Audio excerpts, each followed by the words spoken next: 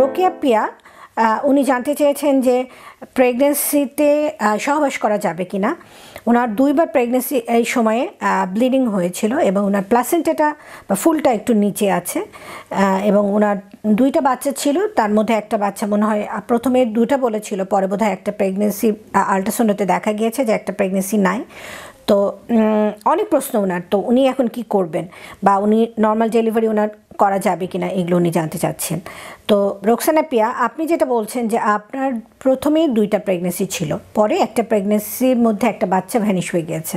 তো এটা কিন্তু একটা ঝুঁকিপূর্ণ প্রেগনেন্সি অবস্থা আপনার জন্য এবং আপনি বলছেন আপনার ফুল বা প্লাসেন্টাটা নিচের দিকে আছে লো লাইন সো আপনি একজন ঝুঁকিপূর্ণ মা, তো আপনাকে ঝুঁকিপূর্ণ মা হওয়ার জন্য আপনাকে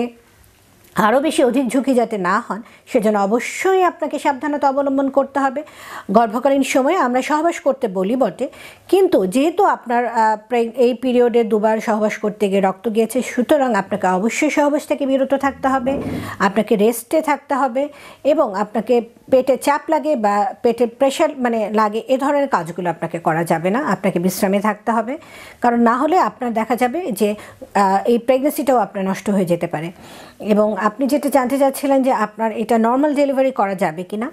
হ্যাঁ সেটা নর্মাল ডেলিভারি করা যাবে যদি আপনার বাচ্চাটা ঠিক মতো সঠিক ওজন মানে সঠিক সময় সঠিক ওজনে বাচ্চা হয়ে থাকে এবং আপনার প্লাসেন্টা বা ফুল যেটা, সেটা যদি